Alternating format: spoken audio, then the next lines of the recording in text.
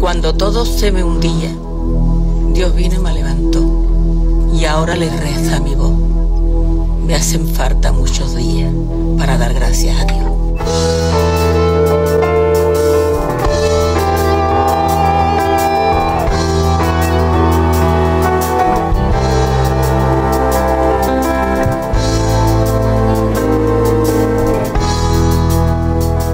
Tenemos este fin de semana en Madrid una muy buena representación porretera. Va a ser Pilar Bollero, que estará actuando allí en Madrid y llevará la voz de nuestro pueblo de Salorino como lo hace a todas partes. Así que a todos los que por ahí estéis, y a acompañarla, a visitarla y a apoyarla y a darle todo el cariño que merece.